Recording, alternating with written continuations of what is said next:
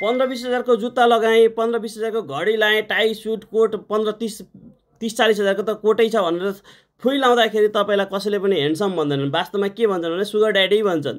त्यही ठाउँमा तपाईँ कपाल लाउनुहोस् त तपाईँलाई ह्यान्डसम बुढा भन्छन्। ठ्याक्कै हेर्दाखेरि उमेर कम देखिन्छ। यति कपाल लगाइसकेपछि त्यो पन्ध्र बिस तिस चालिस हजारको त्यो सान देखाउनु भन्दा यो कपाल लाउनुहोस् तपाईँको जवानी फर्किन्छ।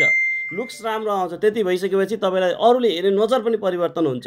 त्यसैले अरू कुरामा घमण्ड गर्नुभन्दा आफ्नो माथि शिरलाई छोप्ने काम गर्नुहोस्। यसले एकदम राम्रो तपाईँलाई लुक्स दिने काम गर्छ।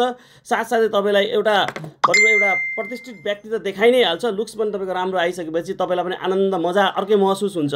पन्ध्र बिस तिस चालिस हजारको जुत्ता चप्पल यो त्यो लाउनुभन्दा एकचोटि तपाईँको यदि कपाल झरेको छ भने यो कपाल लाएर हेर्नुहोस्। तपाईँलाई पक्का पनि ग्यारेन्टी हामी दिन सक्छौँ। धेरै राम्रो देखिन्छ र यो एकदम कम्फर्टेबल छ न गम टाल्नुपर्छ न कुनै साइड इफेक्ट छ न यसमा कुनै समस्या छ तपाईँले ढुक्कले लाएर जहाँसुकै पनि हिँड्न सक्नुहुन्छ झगडै गर्न जानुहुन्छ भने चाहिँ खोलेर जानु होला बाँकी अरू कुराहरूमा यसमा कुनै पनि समस्या छैन।